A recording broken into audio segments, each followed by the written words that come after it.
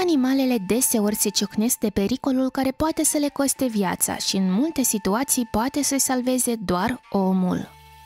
Unii oameni trec pe alături absolut indiferenți, dar cei care sunt gata să ajute un animal nevinovat sunt mai mulți. Eroi de astăzi sunt cei cu inimă mare, care nu evită să le dea o mână de ajutor fraților mai mici și să-i salveze de la moarte.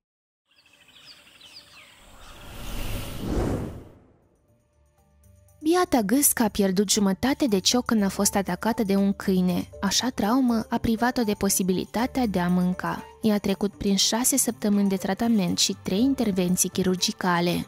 Cu ajutorul unei imprimante 3D, veterinarii au salvat ciocul și acum e mult mai bun decât cel vechi.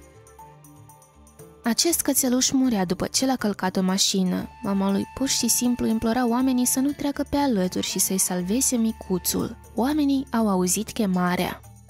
Ei au avut grijă de cățeluș și peste câteva zile acesta a reușit să se întoarcă la mama sa. Dintr-un motiv necunoscut acestui pui s-a făcut rău și și-a pierdut cunoștința. Băiatul care era pe alături nu s-a pierdut și l-a ajutat pe micuț să-și revină. Bărbatul a găsit pe jos o pasăre micuță care literalmente a fost acoperită de gheață din cauza temperaturii scăzute. El a adus-o acasă, a încălzit-o, apoi a eliberat-o. Un șarpe veninos, mamba neagră, s-a băgat sub capota unui automobil. Proprietarul lui a observat asta și nu s-a speriat să salveze șarpele veninos.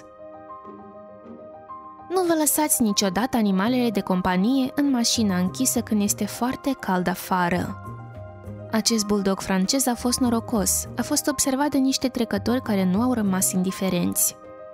Câinele era atât de epuizat că aproape murea. I-a fost acordat primul ajutor și a fost dus la o clinică veterinară.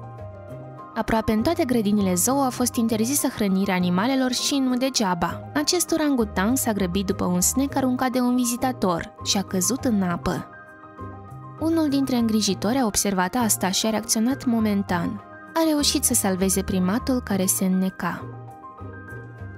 Vulturul cu numele Beauty a devenit proprietarul unui nou cioc, care a fost creat de o imprimantă 3D. Fără oamenii care să-l ajute, sigur nu avea să supraviețuiască în sălbăticie.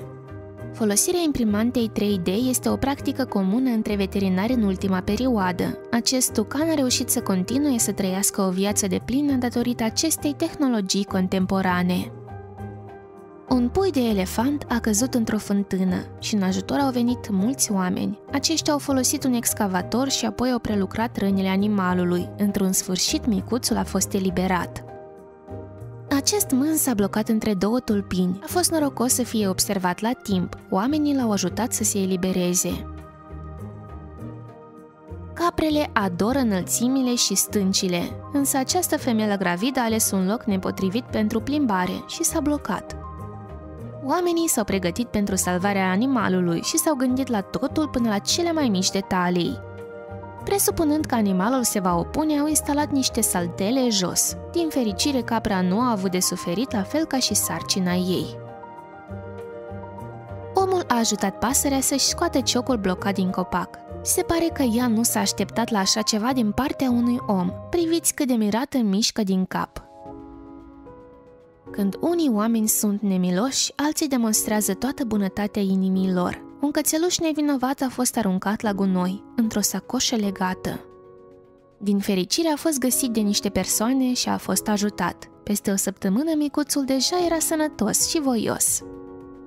Capul acestui urs s-a blocat într-o canistră. Minim 10 curajoși s-au apucat să-l ajute. După eliberare, toți salvatorii s-au grăbit să fugă mai departe de ursul speriat.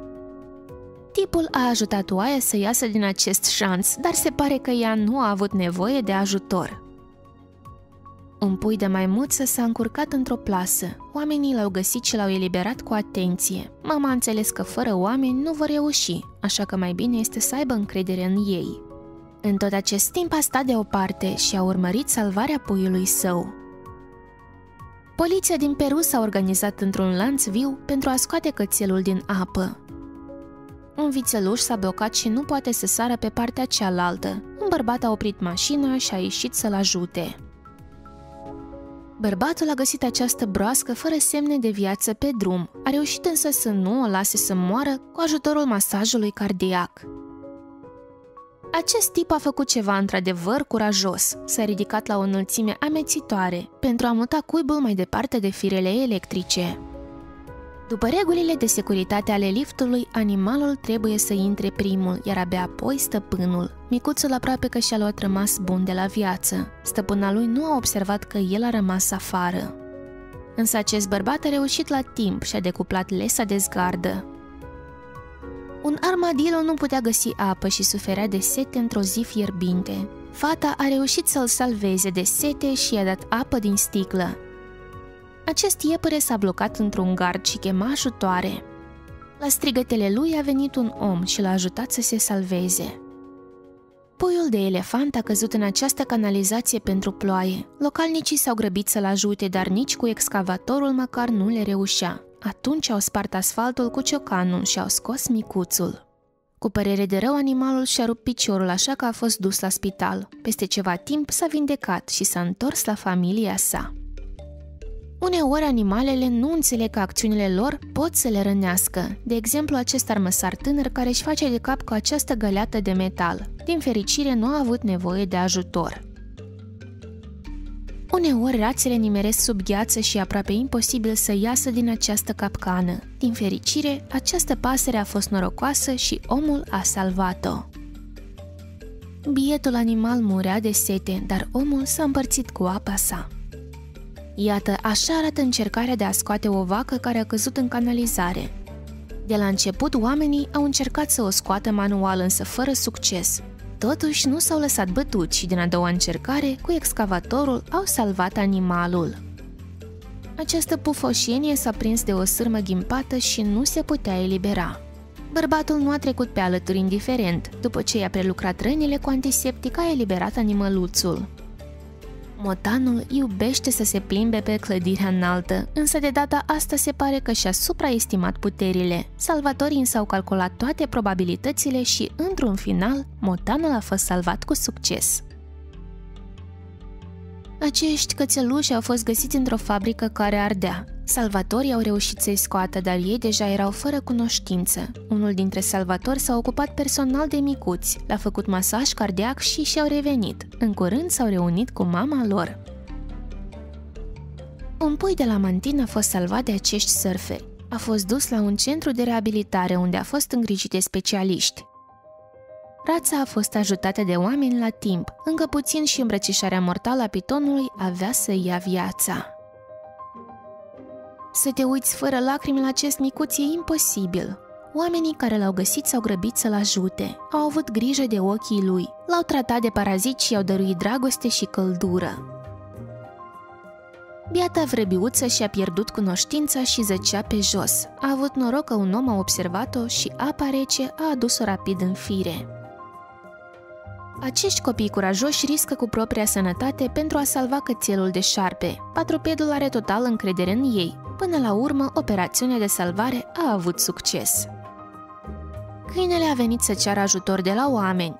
Cățelul și ei au căzut într-o scurgere și nu puteau să se ridice.